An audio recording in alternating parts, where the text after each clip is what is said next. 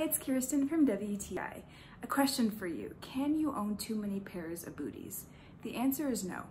And the, this is the reason why you need to get the kensie Gazelle booties in your closet. So these booties obviously are super cute. I love the color. I feel like this is such a great neutral. It'll go with any outfit. I love the soft suede. This suede is really good quality. I've had these boots for several seasons and they've worn really well as you can see.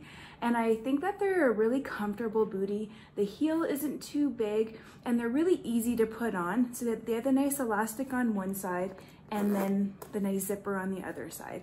So I'm gonna show you how I like to style them. They look really great with a dark wash skinny jean, but I think they would also look good with a light wash wide leg pant or even a skirt.